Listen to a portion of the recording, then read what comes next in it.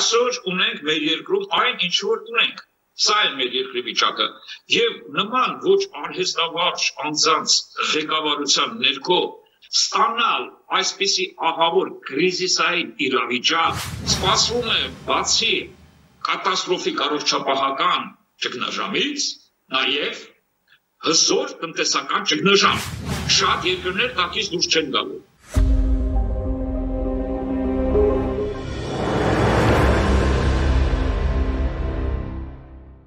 Բարև ձեզ, դուք հայլու առաջ եք, մենք աշխատում ենք արտակարգ ռեժիմի տակ, այսպես հերավար կապի միջոցով, այսօր մենք կապ ենք հաստատել Սլովակիա, իմ հյուրն է Եվրոպայի հայկական միության ֆորումի նախագահ Աշոտ Գրիգորյանը։ Բարև ձեզ, պարոն Գրիգորյան։ Բարև ձեզ, Տիկին Անջելա, բարև։ Շնորհակալ եմ, որ ընդունեցիք իմ հրավերը, այսպես ասած հայլու առաջ եք, պայմանական էլի, այսպես ասած հայլու առաջ եք դե ողջ աշխարհում տագնապ է տիրում ես հետևում եմ ձեր էջին, ձեր հրապարակումներին, ձեր ելույթներին, դուք ուշի ուշով ողջ process-ին հետևում եք, ոչ միայն հետևում եք, այլև ձեր առաջարկներով, ձեր խորհուրդներով հա հանդես եք գալիս, գիտեմ, որ բավականին ակտիվ գործընթացների process-ների մեջ եք, Նախ ինձ հետաքրքիր է թե ձեզ մոտ ինչ է կատարվում, ինչ տարածում է ստացել թե ոչ, խոճապ տագնապային տագնապ կա թե ոչ եւ ինչ կոնկրետ գործողություններ են արվում։ Բարև ձեզ եւս մի անգամ։ Շնորհակալ եմ հրավերի համար։ Ես էլ ասեմ, որ ուշուշով հետևում եմ հայլու առաջանքաշարի նոր ֆորմատով արձակած հերարցակումներին։ Քիչ եմ հետևում հայկական հերոստատություն կամ ընդհանրապես չեմ նայում, սակայն մեր ֆորումի անդամները, նաև Ամերիկա հայ կազմակերպությունները եւ այլն ձեր հաղորդմանը ակնդետ հետևում են եւ լավագույն հաղորդումները ինձ ուղարկում են WhatsApp-ով եւ իրենց միջոցով ես բաց չեմ ունում նաեւ ձեր հետաքրքիր ելույթները ասեմ որ ձեր հարցադրումը այսօր ամենաակտուալն է անկասկած ողջ աշխարհում հատկապես Եվրոպայում մեկ այո կորոնավիրուսը Եվրոպայում հայտարարակ տարածում ստացավ սակայն այն երկրները, որոնք ժամանակին արձագանքեցին, իսկ այդ երկրների առաջատարների ցանկում է Սլովակիան, կորոնավիրուսը նվազագույն տարածվեց։ Եվ իզարմաս ինձ Սլովակիայի կառավարությունը ոչ միայն կարողացավ 5.5 միլիոնանոց երկրում ստանալ այսօրվա դրությամբ ընդամենը 200 քանի 300-ի կողմ կորոնավիրուսով հարակվածների թիվ, որը ռեկորդայիններից է, այլև ոչ մի մարդ չգրանցեց այնուհետև կատարեց այնպիսի քայլեր, որը նաև կորոնավիրուսի հետևանքները, ի նկատի ունեմ տնտեսական, էկոնոմիկական արհավիրքը կրախի տեսքով, որ սպասում է երկրին, դա նույնպես կարողանան կասեցնել։ Փետրվարի վերջին շաբաթը դպրոցները չաշխատեցին Սլովակիայի։ Առաջիններ, առաջիններից էր Եվրոպայում, երբ որ Փետրվարի վերջին շաբաթը կասեցրեց ուսուցումը դպրոցներում, համալսարաններում ամենուր։ Ես մարտի 3-ին հանդես եկա արդեն Հայաստանում, ինձ զարմացրեց Սլովակիայի այդ արտակարգ քայլը եւ դիմեցի նամակով առողջապահության նախարարի եւ վարչապետ Փաշինյանին բաժին ուղարկեցի, որ հարգելիներս այնինչ որ ես հետևում եմ դուք կատարում եք ահա որ ոչ արհեստավարժ, ոչ մասնագիտական քայլեր եք անում։ Փակեցիք սահմանը։ Բայց նամակի տեսքով թե նախարարությունը պես նամակ ուղարկեցի։ Ուղակի նամակ, որի պատասխանը 6 օր հետո ստացա, ես առաջարկեցի անմիջապես մեր հետ կապի մեջ մտնել եւ Եվրոպայի հայկականությունների ֆորում եւ Ամերիկայի հայկական կազմակերպությունները միասին պատրաստեցին շատ լուրջ օգնության մի փաթեթ, որը նախատեսում էր ամերիկյան խոշորագույն մասնագետների խումբը Հայաստան ուղարկել, այն մասնագետները, որոնք հետևում են իրենց դիվանագիտական ներկայացուցիչների, ռազմական բազաների ապտակցությանը, պատկերացնում եք ինչ մակարդակի ճիշտ է, ես դա չէի գրել նամակի մեջ, ես նամակի մեջ գրել եմ, որ արտակարգ առաջարկություն ունեմ շատ մեծ օգնության։ Մոտ 6 օր հետո ստացվեց առողջապահության նախարարից պատասխան, որ իրենք ամեն ինչ ունեն, ոչ մի օգնության կարիք չունեն։ Դա փետրվար փետրվար ամսին։ Փետրվար։ Չէ, մարտի 2 մարտի 3-ին։ Փետրվարից ասեցրեց, ես այդ արդյունքը մենք կապի մեջ գտանք մեր հայկական կազմակերպությունների հետ Եվ նման առաջարկ ուղարկեցինք։ Այնուհետև ուսումնասիրել Սլովակիայի փորձը, որը ասում են, այսօր ֆենոմենալ արդյունք է գրացել, ուղղակի միանգամից դադարեցին։ Մի քանի քայլ կնշեք, բացի այն որ դադարեցին դպրոցների հաճախելը, մի քանի քայլ կնշեք։ Հաջորդ քայլը սահմանները անմիջապես փակվեց,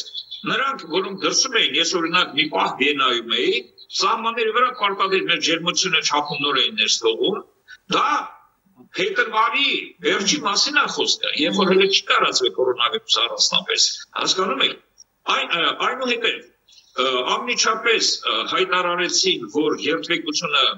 պետք է խիստ նվազեցնել քաղաքում, շփումները նվազեցնել, միանգամից հենց հայտարարվեց, որ բոլորը պիտի դիմակներ ունենան։ Ամբողջ ազգը դիմակներով սկսեց արդեն միայն դուրս գալ փողոց, ընդ որում չափազանց կարևոր գործերի համար էին միայն դուրս գալիս, որոնները անհավատալի բնապահ են։ Ընդհանրապես մի անգամ ասվեց, որ առանց դիմակի դուրս չգաք։ Բոլոր բոլոր փողոց դուրս եկողները նախ պակասեցին, իսկապես պակասեցին տեղաշարժերը։ Այնուհետև էկոնոմիկական մի քանի շատ կարևոր գործեր կառավարությունը արեց։ Հայտարարեց, որ ընկերությունների հարկերը եւ այլն ժամանակավոր դադարեցնում է գանձելը, այնուհետև վարկերը հանձնարարվեց բանկերին, որ բոլոր նրանք ովքեր դժվարանում են վճարել մի քանի ամսով մինչև 6 ամիս հետաձգել վարկերի բռնագանձումը։ Բոլորի նախադիր թե Բոլորի նախադիր թե վարկերի դադարեցումը բոլորի նախադիր թե այդտեղ բոլոր նրանց ովքեր խնդրեմ ունեն եւ դիմում են։ Հիմա այս գործընթացը գնում է։ Այդ գործընթացը գնում է։ Հիմա տեսեք, այդ ֆոնի վրա մենք անմիջապես որոշեցինք մեր փորձը հաղորդել մեր երկրին, մեր ազգի անվտանգության համար։ Եվ մեր առաջին ամակը սա էր, որ կարող ենք շատ արագ ուղարկել էքստրեմ էքստրեմալ արագությամբ անվճար որպես օգնություն շատ լուրջ խումբ ստացանք մեր ժողական պատասխան այնուհետև մենք կազմակերպեցինք Հայաստանին առաջի անհրաժեշտության դեղամիջոցներ, սարքավորումներ եւ այլն պատրաստելու մեր առաջարկը եւ իմ երկրորդ նամակը ուրեմն եղավ ամսի 23-ին մարտի 23-ին 20 միլիոնի օգնություն Միացյալ Նահանգներից մեր կազմակերպությունների լոբինգի արդյունքում եւ պատասխան չստացան, բայց այս նամակ արդեն ես Նիկոլ Փաշինյանին ուղեցի։ Ամսի 26-ին մենք պատասխանը չստանալու պայմաններում դիմեցինք վարչապետի հայտարարելով որ իմ ներկայացուցիչները Հայաստանում պատրաստ են անմիջապես հանդիպելու նրա հետ եւ նամակի մեջ հատուկ ես գրեցի որ ձեր տեղակալների, օկնականների ոչ մեկը անունը չտա, դրանք բոլորը ոչ արհեստաբար մարդիկ են։ Մենք բարեհապարետ ունենք պարոն Գրիգորյան, պարոն Ավինյանն է զբաղվում, գուցե հանձնարարել կամ գուցե դուք, չգիտեմ, ձեր ներկայացիչները հանդիպեին պարոն Ավինյանի հետ։ Հա, մենք պարոն Ավինյանի հետ բազմաթիվ հանդիպումներ ունեցել ենք ներդրամային ծրագրերով, եներել չենք ուզում շփվել։ Բաց հապտակ անկարու մասնավորություն է, որովհետև նրա նա ունի մի շեֆ եւ այդ շեֆը ամբողջ երկրի շեֆն է հասկանում ես սա հայտարարակ իրողություն է որ մեկ անձը վերցրել իր վրա ամեն ինչ երբ որ իրան դիմում են ասում են բայց ձեր տեղակալները ոչ արհեստաբարժեն դուք ինչու եք ձեր տեղակալների վրա ուղում ինքը ասում բայց ես էլ բան չեմ հասկանում մի անգամ այդպեսի բան մենք տեսանյութ պատկացրեցինք Facebook-ով հայտարարություն Նյու Յորքում տղաներից մեկն էր հարցրել Հայաստանի դառնուցավով ապրող, որ ինչու համար հոլդինգի առաջարկությունները դուք չեք քննարկում անձամբ, ուղարկում եք ձեր տեղակալների մոտ։ Չէ՞ որ ձեր տեղակալները ոչ արհեստավարժ են։ Աշինն ասում, բայց ես էլ եմ, ես էլ ոչ արհեստավարժ եմ, բան չեմ հասկանում։ Այսինքն մենք այսօր ունենք մեր երկրում այն ինչ որ ունենք Սա է մեր երկրի վիճակը։ Եվ նման ոչ արհեստավարժ անձանց ղեկավարության ներքո ստանալ այսպիսի ահավոր կրիզիսային իրավիճակ, երբ որ կետ առաջին ժողովրդի առողջապահական անվտանգությունը դրվել է խիստ մեծ հարցականի տակ։ Կետ երկրորդ, չէ որ ամենուր առողջապահական այս արհավիրքը բերում է տնտեսական արհավիր։ Շատ երկրներ տակից դուրս չեն գալու։ Տեսնում եք նավթի գազի գները ինչպես են եկել եւ մետաղների նաեւ այն, այն ինչով Հայաստանն է ապրում արտահանման եւ այլն։ Կապ ասած, սպասվում է բացի կատաստրոֆիկ առողջապահական ճգնաժամից նաև հզոր տնտեսական ճգնաժամ։ Հայաստանը մենք հիմա դրան կգանք, բայց ես ճիշտ ասած մի քիչ դժվար եմ պատկերացնում, որ կառավարությունը ստանում են նամակ, որտեղ ասում է, որ մեր լոբինգի արդյունքում իսկ դու պատական մարդ չէ, ձեր շատերը ճանաչում են, ձեր գործը, ձեր գործունեությանը ծանոթ են ասենք Սլովակիայից նամակ է ստացում եւ այդտեղ գրված է որ մենք կարող ենք այս փուլում օգնել, աջակցել, այսպես ասեմ, կազմակերպել, որպեսզի 20 միլիոն օգնությունը գա։ Ես դժվար եմ պատկերացնում, կարծում եմ հերոստատողները լավ, չգիտեմ, ճանավանական է, որ որևէ արձագանք չլինի։ Ինչ օգնության մասին է խոսքը։ Իրենք ինչ պիտի անեին, ինչպես պիտի կազմակերպվեր։ Անջելա, շնորհակալ եմ հարցի համար, որովհետև դուք ճիշտ եք ասում։ Հիմա հազարավոր հերոստատիտողներ լսելու են ու ասել են այս պարոն ախրես ինչ է խոսում, բանվոց կարող է լինի։ Միանգամից պատասխանում եմ, նեղություն քաշեք բոլորով։ Մտեք,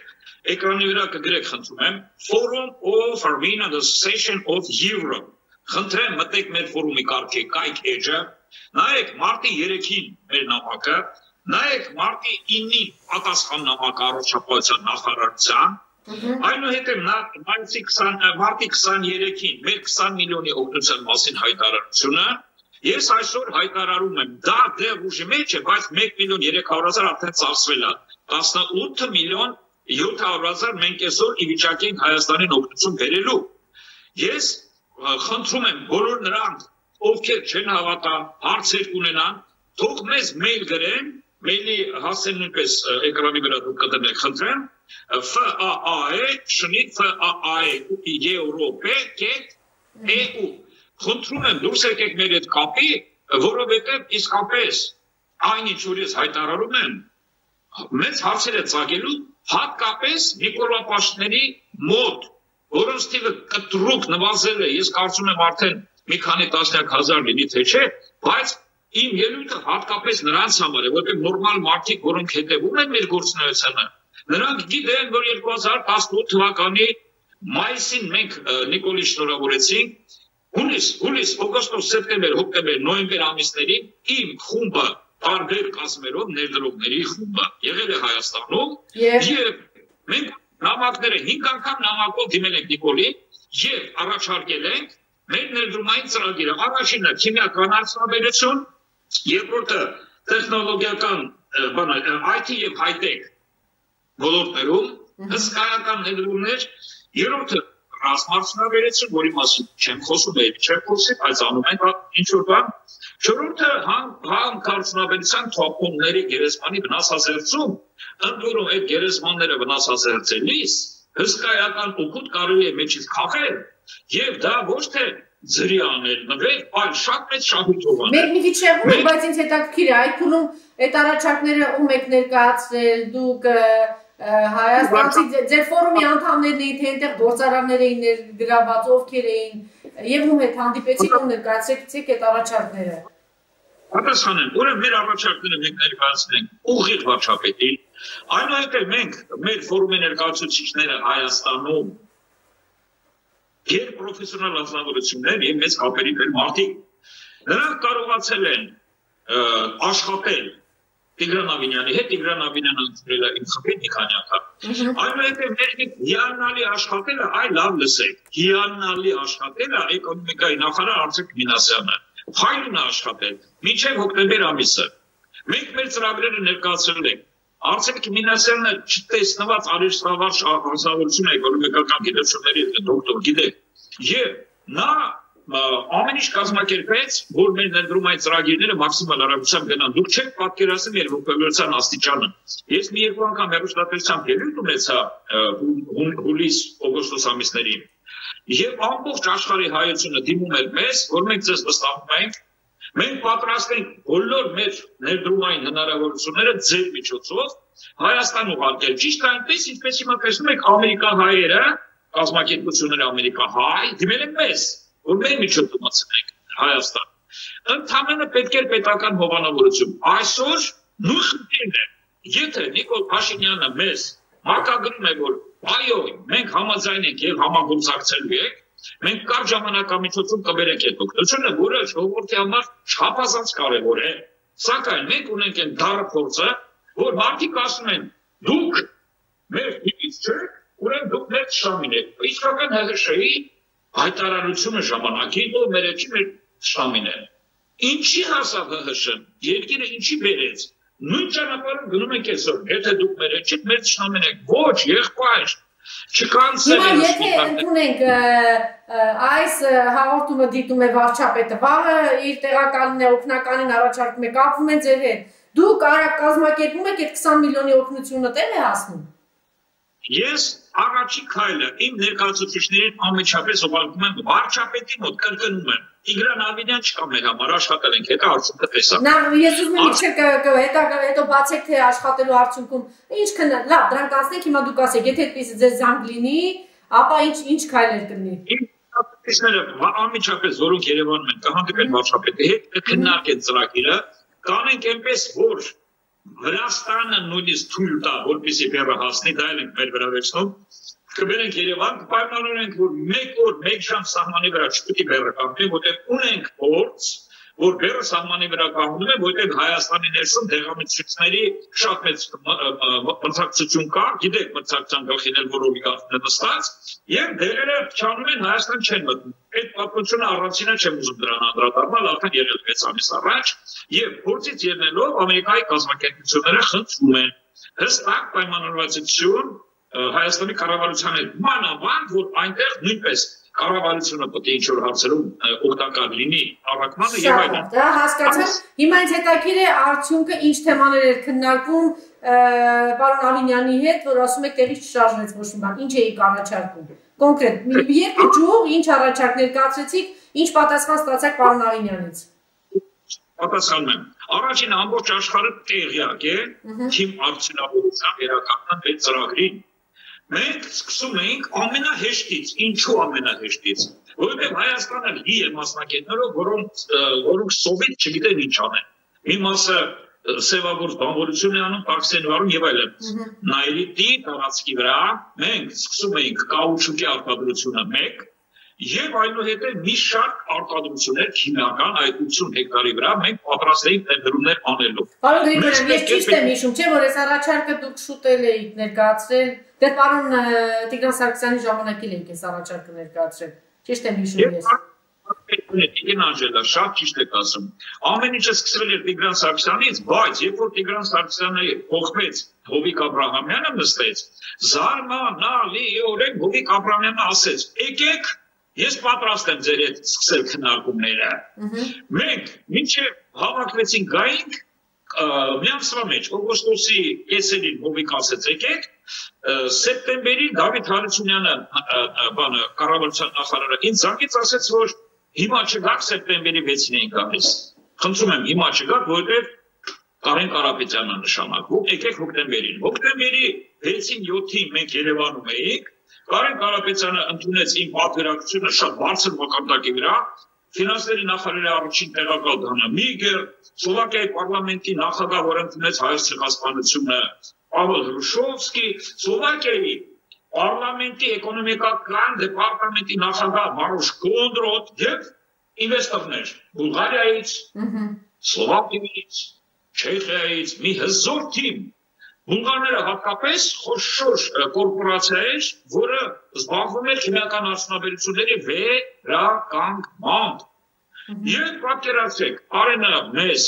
ոչ մի խոստումներ չտվեց, ի տարբերություն Նիկոլ Փաշինյանի, որը սիրում է խոստումներ բան ու չանել, Կարենը խոստումներ չտվեց ու չարեց։ Ձեր հայելու առաջ հաղորդման մեջ առաջին անգամ ես հայտարարում եմ եւ բացում եմ կարտերս Մենք չտեսնված գործ ենք արել IT-ի ոլորտում։ IT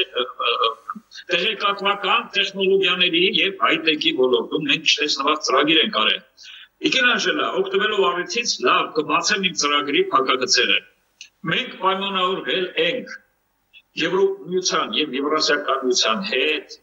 որ Հայաստանը դարձնում ենք դարպաս եվրոպական high-tech տեխնոլոգիաների եւ դառնում ենք կամուրջ Բրյուսելի եւ Մոսկվայի միջև։ Ինչ արձագանք Հայաստանից, Հայաստանի կառավարությունից։ Հայաստանի կառավարությունից ոչինչ չեն ուզում։ Այս, այ, այս հարցում ոչինչ միայն չխանգարեն։ Ինչ ասեցիք, չէ, դրա մասին եմ ասում։ Դուք ասում եք հանդիպեցինք պարոն Արինյանին, երկու կոնկրետ բան, հա, Նայիրիտում ինչ որ Լավ, որովհետեւ ես այդ հարցը պատասխանը հետո անցնեմ ես այսօր։ Այն ժամանակ մենք ներկայացրեցինք թիմ արդյունաբերություն նայրի նայրի տեսքով IT եւ high-tech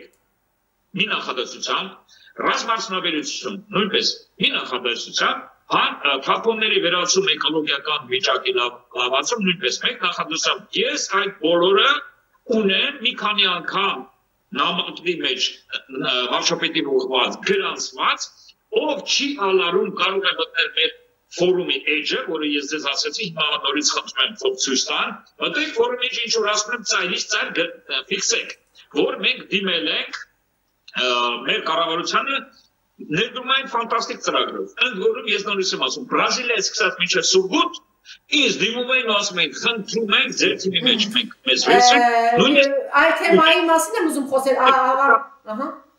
Էնե վերջացնեմ։ Նույնիսկ մարդիկ են եղել, որ իրանց փոքրիկ կարողացումներ, ասեք 50000 100000 դոլար ասել են, մենք կներդնենք Հայաստանի ներդրումային ծրագրերի մեջ, միայն մեզ պետք է որ կառավարությունը տա կանաչ լույս։ Ինչ լույս, ինչ լույս ձեր արժե վարվեց կառավարությունում։ Կարմիր։ Կարմիր։ Հույս կա կանաչ լույսի, չգիտեմ,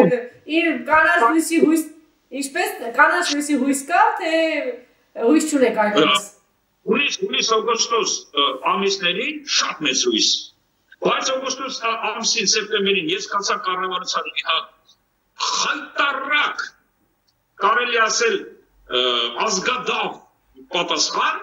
կոմպրոմատի տեսքով Ես կոմպրոմատ, որ 2004 թվին բայց էին թողել ադրբեջանցիները Երբ որ ես Հայաստան զենքի մեծ օգնություն ցուցաբերեցի, հսկական ռազմատեխնիկա եկավ Հայաստան եւ 2004 թվականի նոյեմբերի 30-ին էլ ցեղասպանության հարցը անցկացրեցի parlamentum։ Այդ ժամանակ ազերիները թողել էին 1.5 րոպեանոց կոմպրոմատ, որը Սլովակիայի մի երկրորդական հերոստապեցում 5 անգամ լուրերը սկսել էր դրանով, հայկական դրոշի վրա իմ նկարը։ Այդ կոմպրոմատը թարգմանեցին հայերեն, գրեցին, որ սա 2014 թվականի նյութ է։ Պատկերացնում եք ինչ ազգադավություն։ Եվ տարածեցին նույնիսկ Դանա Միգերը վերոհիշա Սլովակիայի ֆինանսների նախարարի առաջին տեղակալը ինձ զանգեց ասեց մեզ ձեր արտգործ նախարարությունից կոդեն նյութ է եկել։ Էս ի՞նչ բան է։ Ես ասացի դանա կհանդիպենք, կասեմ ինչ բան ասա։ Ին հայրենակիցների շնորհակալությունն է այն բոլորի։ Հասկացա, կանի լույսի տեսքով։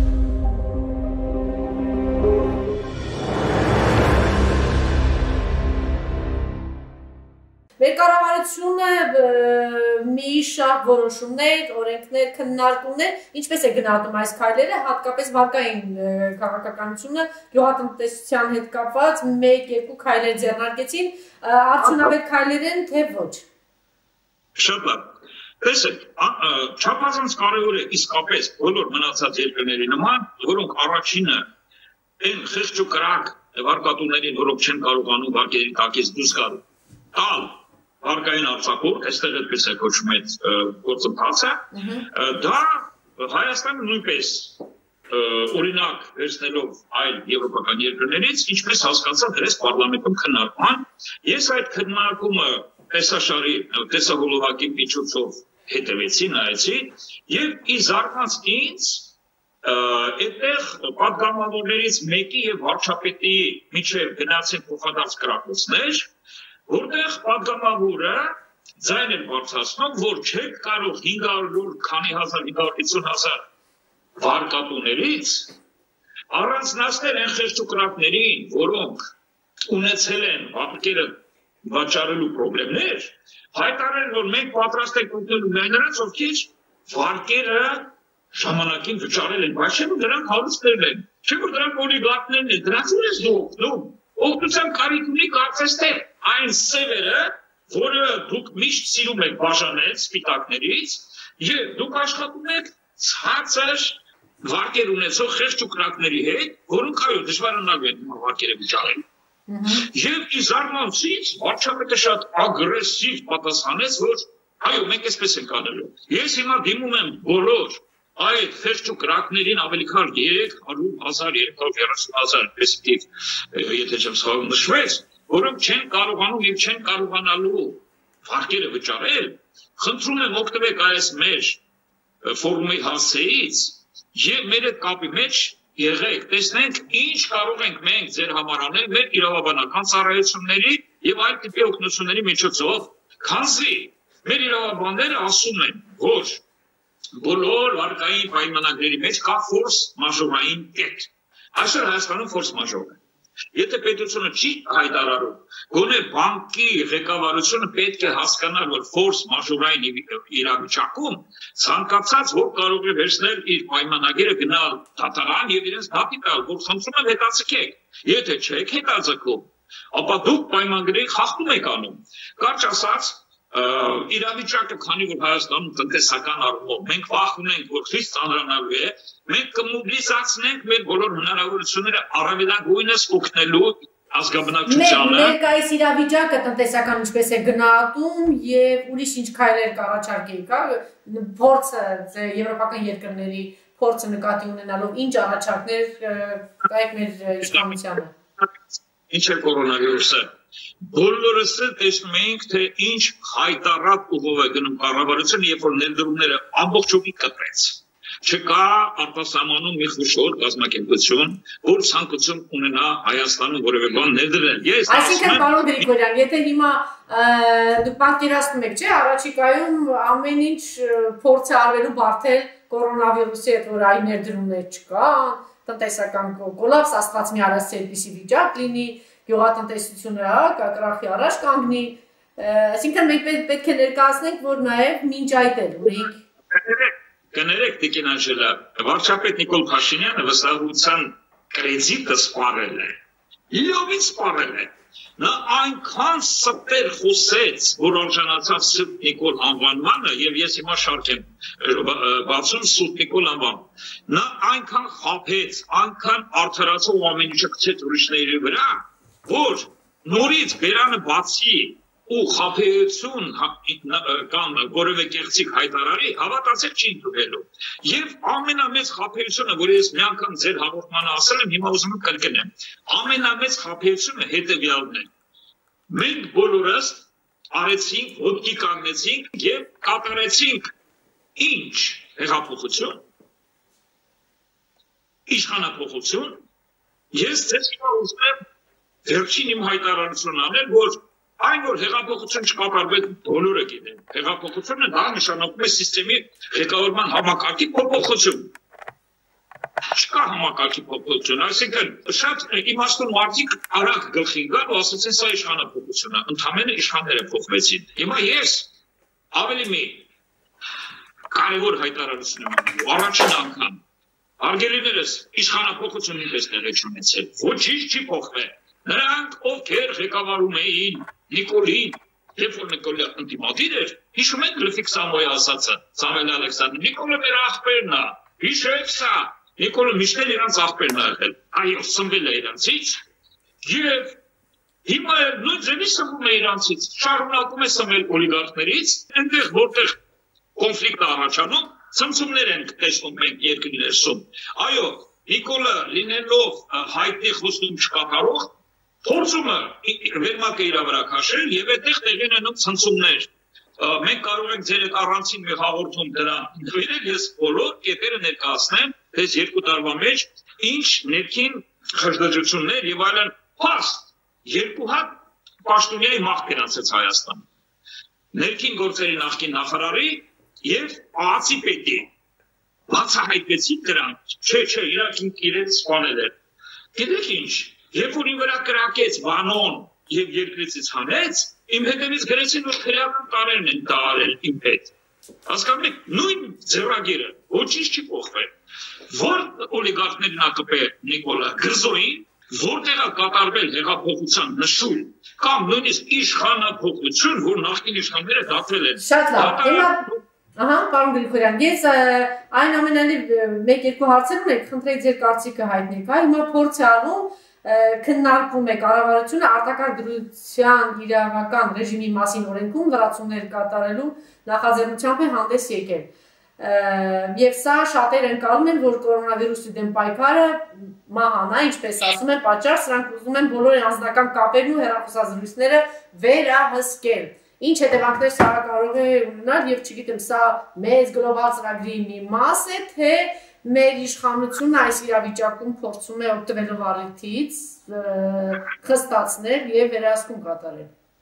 Ես կարծում եմ, որ Հայաստանում լարվածությունը իրենք հասցրել են այնպեսի մի մակարդակի, որը ոչ պայթուն է ունենալու։ Եթե 2017 թվի դեկտեմբերին իմ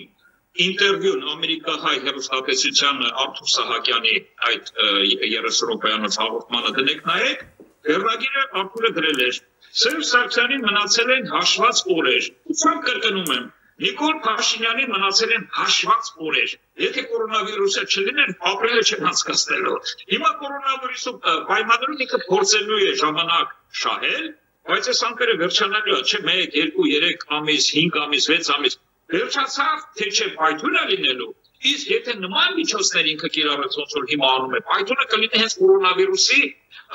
ընթացքում չի կարելի սահմանադրական դատարանին վարկաբեկել եւ հետո ասել, որ մեր մոտ արդարադատություն կա։ Չի կարելի պայքարել սահմանադրական դատարանի դեմ ոչ սահմանադրական ճանապարհներով։ Սա չի անցնի, սա անհնարին է, սա բացառվում է։ Չի կարելի մարդու ազատությունը նման վայրակ ձևով սահմանափակելու միջոցով խոսել խոսքի ազատության մասին այսօր 10 տարի չէ, 10 ամիս էլ չի դիմանա այլևս ժողովուրդը։ Երկու տարի է, պարոն Գրիգորյան, տեսեք, երկու տարի արդեն։ Բայց չեմ ձեզ ասում, երկու տարի արդեն վերեց լարվածության գագաթին։ Կորոնավիրուսը հիմա իր ճշտումները մցրեց։ Ճշտումները կարող են լինել Նիկոլի համար եւ դրական եւ բացական։ Դրական, որ ինքը կիրառի այն մեխանիզմները, որը հնարավորություն է տալիս դեմ պայքարը եւ դա հայտարարել որպես արդարացված ռեպրեսիաներ, Իսկ բացականը, որ կորոնավիրուսի հենց պայմաններում երբ որ կդապարտվեն ամբողջովին խանութները ժողովրդի մոտ, սա կսկսվի։ Ժողովուրդը եւ ոստիկանությունը եւ զորքերը կմիանան իրար, բոլորով միասին եւ դուրս կգան ռեժիմը տապալելու, որովհետեւ Նիկոլը ընդամենը խաղալիք է եւ շարունակություն է հանդիսանում այս ռեժիմի։ Եթե կան մարդիկ, որոնք սա չեն հասկացել միջև այսօր, որոնց ժողովուրդը զոմբի անվանում, նույնիսկ նրանք կհասկանան, երբ որ կսկսվի այն սովի ժամանակահատվածը, որը տնտեսական ճգնաժամը անպատճառ ծնելու է եւ այդ ժամանակ ես չգիտեմ ինչա փրկելու Նիկոլին եւ իր տիկնոջը որոնք կարողացան իրանց ֆոնդերի վրա ահավոր շատ գումարներ հավաքել Եվ գումարները տեղափոխել շվեյցարական բանկեր։ Ինչ են իրաց թվում, մենք դա չենք հետևում եւ չգիտենք։ Դե հիմա հետամուտ չենք։ Դուք անպատասխանատու հայտարարություն եք անում։ Փաստեր ունեք, որ շվեյցարական բանկում Նիկոլ Փաշինյանը իր ընտանիքի իր տիկինը գումարներ ունի։ Ջերա 8-ից կախված լուրեր ունեմ։ Եթե իմ հայտարարությունը անպատասխանատու է, ապա Նիկոլ Փաշինյանի տասնյակ հայտարարությունները ազգային ժողովի ամբիոնից 8-ից կախված լուրերի հիման վրա են եղել։ Ես չգիտեմ իր օթի կախված լուրերը ինքը որտեղից էր վերցնում, բայց ես գիտեմ ես որտեղից եմ վերցնում, եւ ես գիտեմ այնպես իրանց պատժել, որ հետո գլխներին կտա, թե այս ինչ են անում, այդքան բան։ Շատ այո, երեք հարց ունեմ, մենք ժամանակ չունենք, ակնկալում շատ կարճ պատասխանը նախ Եվրոպայում Եվրոպայի հայությունը համայնքի տրամադրությունը ինչպիսին է, հա, դեպի Հայաստան ներդրումներ, վերադառնալ, ինչ տրամադրություններ եք տեսնում։ Ինձ թվում է այդ հարցի պատասխանը ոչ միայն դուք գիտեք, այլև ողջ ժողովուրդը, որովհետև եթե տեսնեք ինչ տրենդ է գնացել Հայաստան ներդրումներ գրավելու ուղղությամբ, ապա կտեսնեք, որ նույնիսկ 10-20 հազար եվրոյի ներդրումը թմկահարում են որպես մեծագույն նվաճում։ Այսինքն լուրջ ներդրումներ կորպորացիվ եւ այլն, գիտեք որ տեղի ունեցել եւ չի պատրաստվում բացարձակապես ապագայում չկան այդպիսի ցանկություններ։ Բայց եթե իրենց հայտարարություններին եւ կոչերին, կարծես թե համախոհների մեծ բանակ ունի համայնքում, հա, Եվրոպայում այսօրվա իշխանությունը։ Նիկոլ Փաշինյանի հանդիպումներին հետևեք, հատկապես Միացյալ Նահանգներ, տեսեք ինչ մակարդակի վրա է ընդունել նա, նույնիսկ ես կարող եմ ձեզ տեսահոլովակ ուղարկել, որտեղ իրեն ընդունում է Գլենդելի քաղաքապետը, որը ընդհանուր ամերիկյան հիերարխիայում կարող եմ ասել 0 է Գլենդելի քաղաքապետը Լոս Անջելեսի չեմ չեմ սխալվել Եվ Նիկոլին ցայն տալիս շատ շատ ծաղելի բան եմ ասելու, ասում է Վիկտորին, նույնիսկ Նիկոլ անունը չի հիշում, սարսափելի բան է։ Այսինքն այդ մակարդակով Ամերիկայում ընդունած վարչապետը քաղաքապետի մակարդակով որին Վիկտորի անվանում Նիկոլի Բուխարը։ Քայլեր ձեռնարկեցին, հիմա մեկը ես մատնանշեցի, հա, որ պետք է լսեն բան։ Լրա զանգվածային լրատվամիջոցների դեմ ինչ որ քայլեր ձեռնարկեցին դրանք անհրաժեշտ քայլեր էին, թե պահից օգտվելով այսօր իշխանությունը փորձում անել, թե իսկապես անհրաժեշտություն է այդպիսի քայլերի գնալը։ Ինիկատուն եք ռեպրեսիվ քայլերի։ Դե դուք ռեպրեսիվ եք գնահատում, բայց իրենք ասում են խիղճ անհրաժեշտ արտակարգ իրավիճակներում, հա, այս քայլերը անհրաժեշտ քայլեր են։ Լրատվամիջոցների դեմ ես գտնում եմ абսուրդը որևէ քայլը համարել անհրաժեշտ. Facebook-յան ֆեյքերի դեմ, որոնց մեծ մասը ինքնասնում Այդ դրանց դեմ ես ինքս կասեի, որ պետք է կասեցնել։ Facebook-ը վխտում է ֆեյքերով, որոնք ակնհայտորեն վճարվող են, որտեղ առաքից երեկո մենք բարը գրում են։ Այդ դրանց դեմ ես կաս առաջարկ էի որևէ քայլեր անել, բայց ազատ ռակոցան դեմ քայլեր անել ի՞նչ իմաստ ունի։ Առանց ձեզ մենք Եվ վերջին հարցը մենք երկիրը, մենք ձեր կանխատեսումները ինչպես դուրս կգան այս կորոնավիրուս ահետից, հա, երկիր ինչպես դուրս կգա։ Եթե երկիրացելու նկատում եք երկրագուտը, ապա չգիտեմ։ Եթե երկիրացելու նկատում եք մեր երկիրը Հայաստանը, ապա երակի անգամ չգիտեմ։ Տնտեսական մեծ ցնցումներ կլինեն, թե ոչ թե մենք կարողանանք Մենք այսօր ցավոք ցնցումներ սպասում ենք ամբողջ երկրագնդով մեկ երբ որպես գեոքաղաքական գործակալության ներկայացուցիչ հետևում եմ ամբողջ իրականությանը ինչ որ կատարում է Չինաստանից միջև Միացյալ Նահանգներ եւ շատ վատ բաներ եմ զգում։ Դուք տեսել եք որ Տրամպը եւ Պոմպեոն ասում են China virus, չինական վիրուս, չեն ասում կորոնավիրուս։ Մենք մտածեք, ես ինչ է China վիրուսը բառը։ Ինչու՞։ Ես որտեղ ասեցին այդ տերմինը։ Ինչու՞։ Որովհետեւ կան գնում է Չինաստանին նկատմամբ մեծ ռեպրեսիա, քանզի Չինաստանը մեր իմ այդ գործակալության իմ կազմակերպության գյուղ քաղաքական սեմինարներին խոշորագույն գիտնականները ներկայացրել էին, որ 30-35 թվին Չինաստանը անհամեմատ առաջ անցնում Միացյալ Նահանգներին, անցնում է Եվրոմիությանը պլյուս Ռուսաստանին էկոնոմիկ արդյունքով պատկերացնում է Եվրոպայի Այսինքն այն ամենայնիվ կորոնավիրուս ասելով մենք նկատի ունենք նաև մեծ դավադրություն Դավադրություն բառը բացարձական տեղի է, կներեք։ ինչ հեշտությամբ մենք այդ բառը օգտագործում ենք, ինչու դավադրություն։ Սա հիանալի կազմակերպված տնտեսական պատերազմ է։ Հիանալի կազմակերպ ինչ դավադրություն։ Պատերազմի դավադրությունը ո՞րն է։ Գնում է տնտեսական պատերազմ, պատերազմը սկսել էր Սովետ միության քանդմամբ, այն ժամանակ մեդիալ պատերազմներ, երրորդ համաշխարհային, այնուհետև հայտարարվեց երրորդ համաշխարհային պատերազմը տնտեսության տեսքով Գազպրոմի դեմ էս ակտերը, որ անում են Եվրոպայում, սանկցիաները Ռուսաստանի եւ Չինաստանի դեմ, սա պատերազմ չի, սա երրորդ համաշխարհային պատերազմի մի բարձրագույն փուլն է, որը կոչվում է տնտեսական պատերազմ։ Եվ այդ պատերազմի այսօրվա փուլը կորոնավիրուսի տեսքով է զարգանում։ Իդեպ տեսակետ կա, որ այս կորոնավիրուսի առաջ բերելը կասեցրեց համաշխարհային պատերազմը, որ սպասում էր մարդկությանը տեսակետ է ոչ միայն ոչ միայն կորոնավիրուսը, նաև տնտեսական պատերազմը, նաև նաև IT ոլորտի պատերազմը, IT-ն չի ամբողջ երկրագույն առել է եւ virtual reality եւ այլն այդ ոլորտները դարձել են մարդու համար չափազանց վտանգավոր, իսկապես շատ վտանգավոր, ռոբոտիզացիա եւ այլն։ Այո, կորոնավիրուսը կոտրեց ամեն ինչը, սակայն Տեսնում եք, որ ģեր հզոր կայացությունները ուզում են օգտվել իրավիճակից եւ կորոնավիրուսը ծառայեցնել իրենց։ Չզարմանաք, եթե Միացյալ Նահանգները 2 տրիլիոն որ փող է բացվել իր մոտ, գիտեք,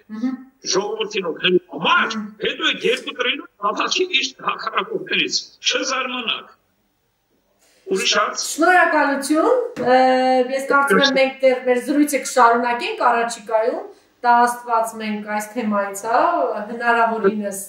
Հնարավորինս անվնաս, այսպես ասեմ, հա, դուրս գա։ Շնորհակալություն, պարոն Գրիգորյան։ Հետաքրքիր զրույցը։ Շնորհակալություն։ Հիշեցնեմ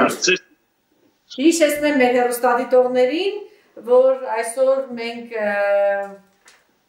հերավար կապի մեջ ենք Սլովակիայի Եվրոպայի հայկական միության ֆորումի նախագահ Աշոտ Գրիգորյանի հետ։ Շնորհակալություն։ Շնորհակալություն, պարոն Գրիգորյան։ Շնորհակալություն։